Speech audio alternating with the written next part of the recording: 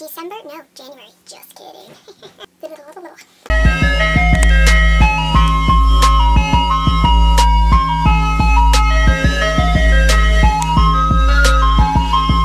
Hey guys, it's Jay and today I'm here with my January wrap up for 2018. I read a total of six books, which is not a lot for me. Usually I read way more, but school, man, school, that's all I'm gonna say. So without further ado, let us get started.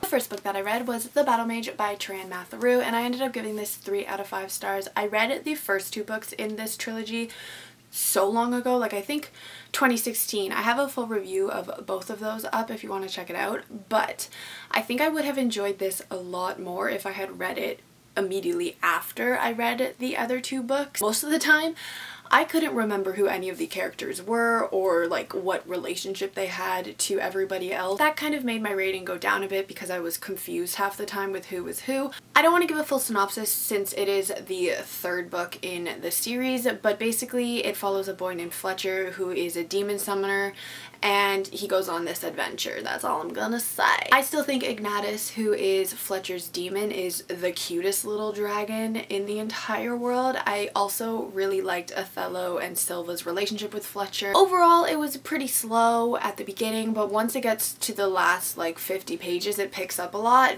but like it's only the last 50 pages that was exciting to me. So the next book that I picked up was Revolution by Jennifer Donnelly and I ended up giving this a 3 out of 5 stars. The book follows Andy who blames herself for her younger brother's death over two years ago. Her mother's grieving his death and she is being threatened with being expelled from school due to her poor grades. That's when her absent father swoops in and admits her mom into a mental hospital and demands that Andy come with him to Paris in order to work on her thesis. So when in Paris, Andy discovers an old diary that's hidden in the compartment of a guitar case. She begins reading it and she discovers that it belonged to a woman named Alex who was alive during the 18th century French Revolution. First off, like if you're gonna read this book, it is full of suicide mention and pill popping and just if that's not your thing, don't pick it up because it's basically more than half the book. The book definitely drags on. It's very slow. Although the stuff about the French Revolution was really interesting, it got to the point where it just became information overload and I was pretty overwhelmed with everything that I was trying to keep track of. My favorite part of the book was definitely Virgil, who is the love interest. He was just such a precious little cinnamon roll and I just wanted to protect him at all costs.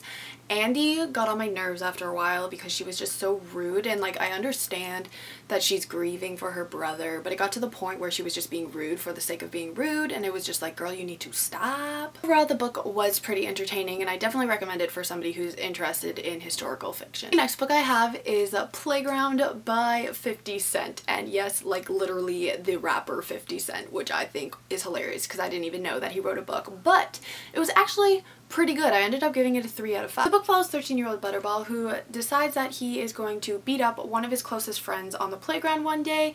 His name is Maurice and he ends up in the hospital. He is being forced to talk to a therapist named Liz and he doesn't really trust her. He doesn't want to go see her. He doesn't want to tell her her story but as the sessions progress he begins to trust her and lets her know what exactly happened that day on the playground. I was not expecting a lot from this book because like 50 Cent wrote it so I was like it's not gonna be that good but I was pleasantly surprised. I think that it gives a really good insight on how bullies can be very vulnerable and actually be bullied themselves. I think that the book is definitely relatable for a lot of people. I probably would recommend this to like middle graders because it gives a good life lesson and also like Butterball is such a good character. He goes through so much character development and just becomes like a better person in the end and I definitely really liked reading about him. The next book that I picked up was Across the Universe by Beth Revis and I ended up giving this a 3.5 out of 5 stars on Goodreads. Hundreds of individuals have been frozen on the spaceship Godspeed for over 300 years.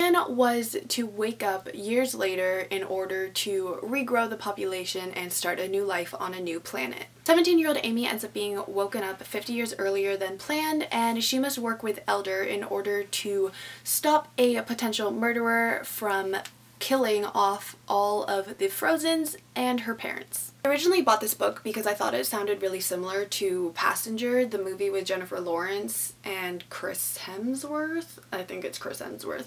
But I, I really enjoyed that movie so I was like, oh, it's it sounds like it, so probably good and I actually liked it a lot more than I thought it would. I really liked the characters of Amy and Elder. Amy was very stubborn and I liked how she protected her parents at all costs. I also really liked how Elder questioned pretty much everything that the eldest elder was telling him about life on Godspeed. It was really nice watching him grow throughout the story. I have to say that Harley was definitely my favorite character. He was just so lovable and he honestly just reminded me of a big giant puppy dog. I also really liked how the romance of the story wasn't a huge aspect like I thought it was going to be a big deal based off of the summary, but it was more of a back burner kind of thing, which I definitely enjoyed. I ended up giving it only a 3.5 because I was able to call the murderer very, very early in the story, but it was obvious that it was supposed to be this huge thing that you couldn't tell, but like it was so obvious who it was, and I don't know if that's just because I'm pretty good at calling the endings to things, but it just, no. I did find the history and the mystery surrounding the ship to be very interesting and I did want to know more about that. Another reason I gave the book a lower rating than I originally was going to was because of the word frexing.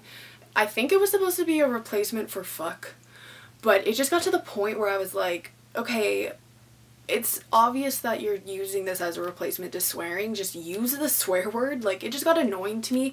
Honestly, it's probably just a personal preference, so don't go into the story thinking that, like, it's a huge deal. I think it's just a me thing, but it got super annoying. Overall, I would recommend it to sci-fi lovers because it was a super entertaining story, so I liked it. And also it has a pretty cover. The next book that I read is one of my favorite books now and it is Keep Her Safe by K.A. Tucker. I have a full review of it on my channel so I'm not going to go into detail about it. I ended up giving it a 5 out of 5 star. It is so good. It is such a thrilling story and like highly recommended. Check out my review but like read the book please because like A plus. That's all I'm gonna say. And then the final book that I read for the month of January is The Dangerous Art of Blending In by Angelo Surmelis and I ended up giving this a 3 out of 5 stars on Goodreads. It follows a boy named Evan who is the son of a very strict immigrant parents. His father would rather stay quiet in the conflict between his mother and Evan. So Evan is feeling very lonely and the only place where he finds solitude is this old abandoned monastery near his house. So during one summer, Evan gets sent away to Bible camp and upon returning he realizes that his best friend Henry has become increasingly attractive and he's also showing signs that he wants to be more than friends. Just a warning, this book has a lot of all kinds of abuse in it, like all kind. It also deals a lot with homophobia, so just be aware of that going into the book, but I wanted to like this a lot more than I did. Knowing that the book was loosely based off of the author's life made it like a hundred percent more heartbreaking. It was honestly really hard to read about Evan's mother physically, mentally, emotionally, and verbally abusing him and nobody was there to help him at all. Evan was a very sweet character and I wanted to help him but I just wasn't able to connect with him as much as I wanted to. I think that the book was so heavily focused on the abuse aspect that it was very hard to get to know Evan as a person. The only major problem I had with the book was that it seemed to portray the romance aspect as a way to cure abuse, which I personally don't agree with. But as it is an own voices novel, I didn't really try to let that affect my overall opinion. But yeah, overall, I think that it was an okay read, but personally I could not connect to the main character and it just made it very hard to want to continue with the story and I also just found it very hard to read about all the abuse. So if you're gonna pick it up, then definitely take that into consideration because it's it's a very emotional read. Alright guys, so that was my January wrap up. Let me know down below what you guys read this month and I will see you all in my next video. Goodbye!